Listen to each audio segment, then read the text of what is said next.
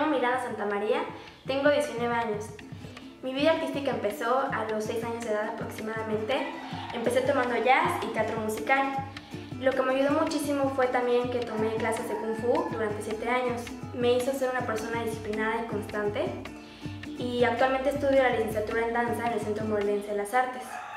Eh, ahorita estoy en el grupo de Son de Barranca, es una compañía profesional en donde toco el pandero, el guiro y la bola de lluvia y también estoy eh, desarrollándome con la voz.